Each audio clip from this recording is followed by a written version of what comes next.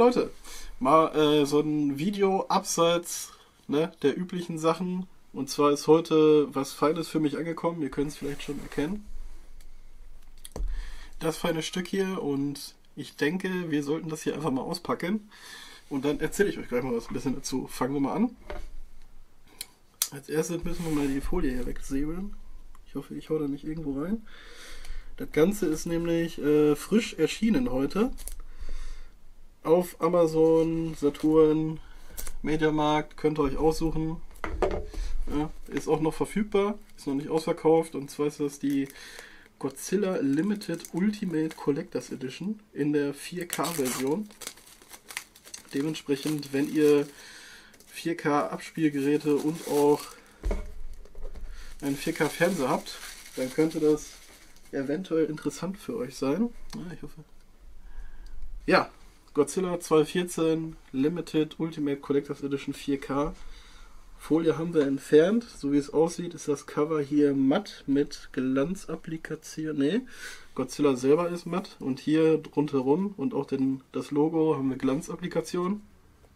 Sieht ganz schick aus. Hier ist ein Kleber drauf, da bin ich kein Fan von. Ich hoffe, der geht leicht ab. Und wunderbar, rückstandslos lässt er sich entfernen. So sieht das Ganze aus.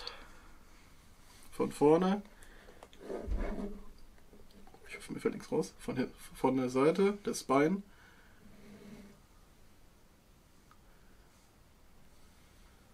Kann man das sehen, ja? Gut, gut. Dann hier haben wir die Rückseite.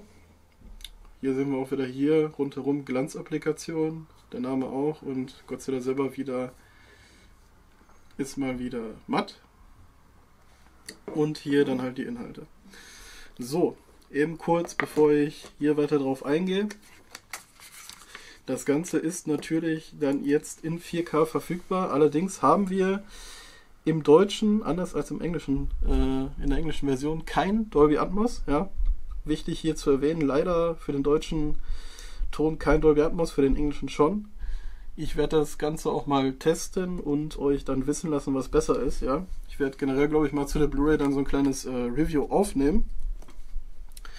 Und jetzt würde ich sagen, gucken wir mal rein, was wir so finden. Ne? Schütteln wir das Ganze mal aus. Okay, das war alles. Lege ich mal hier hin. Zum Film kommen wir gleich. Dazu kommen wir auch gleich. Obwohl doch, gucken wir uns das jetzt erst an.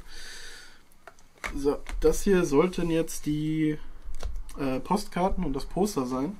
Hier in dem kleinen Umschlag. So sieht er aus. So nochmal von hinten mit dem Monarch-Symbol.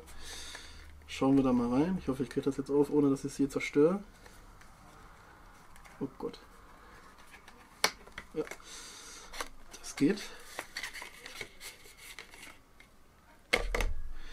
So, dann haben wir als erstes mal Pappe, die uns entgegengeflogen kommt. So, dann haben wir die Postkarten. Einmal. Kamerafrau ist alles im Fokus. Sehr gut. Zweimal. Hier haben wir dann den Muto. Gerade haben wir Godzilla. Nochmal den Muto. Ja, kurz vorm Finale wie der Adrian Brody hinterherfährt. Und hier haben wir nochmal den finalen Shot vom Kampf zwischen Godzilla und den Mutos. genau. Und dabei ist auch noch ein Poster. Ich hoffe, ich kriege das hier so einigermaßen rein. Upp, upp. Ah, Moment, Moment. Ah, doch, das geht. Sollte funktionieren. Einmal das. Das ist die Vorderseite. Leider halt geknickt, das kann man nicht verhindern. Ne? Und die Rückseite. Sieht ganz cool aus, wie ich finde. Perfekt, kann man sehen. Wenn ihr es länger sehen wollt, müsst ihr Pause drücken. Wir haben hier keine Zeit. Die Burger warten. So. Das packe ich eben mal wieder rein. Auch sehr schön hier in diesem äh, Papp-Umschlag drin. Finde ich sehr gut. Ja, so kann man das auch nicht verlieren. Diese, so eine ähnliche Edition gab es auch schon mal zu dem ersten Predator-Film. Die habe ich hier auch. Kann ich vielleicht auch mal besprechen, wenn ihr das möchtet. Und da war das so, dass alles sehr lose einfach hier in dem Schuber drin war und dann ist das halt alles rausgeflogen. Sehr unschön. Hier haben wir noch ein Büchlein. Vorderseite, Rückseite nochmal Muto mit japanischen Schriftzeichen. Was ist da drin? Ich gucke mal kurz rein. Ah, okay. Ja, hier finden wir anscheinend Bilder aus dem Film.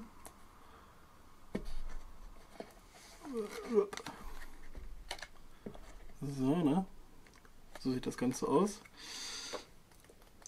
Ja, kann man sich hier schön durchgucken, so ein kleiner Bildband. Ah, am Ende haben wir sogar noch ein paar Infos, allerdings auf Englisch. Wartet mal. Ich zeige euch das mal. Hier so. Und das sind anscheinend so Monarch-Sachen. Und so ein bisschen Hintergrundinfos zum Film. Ah, ist doch ganz schick. Am Ende nochmal ein Bild von Godzilla. So, jetzt kommen wir zur Hauptattraktion, nämlich der Blu-ray selber. Einmal die Vorderseite. Ist auch schön mit Wendercover anscheinend. Das ist sehr gut. Niemand will hässlichen SK-Flatschen auf seiner Blu-ray. Das ist die Rückseite. So, dann öffnen wir das Ganze mal. So. Dann haben wir hier einmal die 4K Blu-ray mit HDR. Dann haben wir hier nochmal die Blu-ray und anscheinend war es das auch. Das sah ja erst so aus, wenn sie mir. Ah, okay. Ne, dann war es das. Genau. Dann mache ich nochmal eben kurz das Wendecover rein. Könnt euch das auch nochmal angucken. Zack, zack, zack, zack. Frickel, frickel. Muss hier alles auch ordentlich sein, ja? So. So sieht das Ganze dann nochmal mit dem Wendecover aus.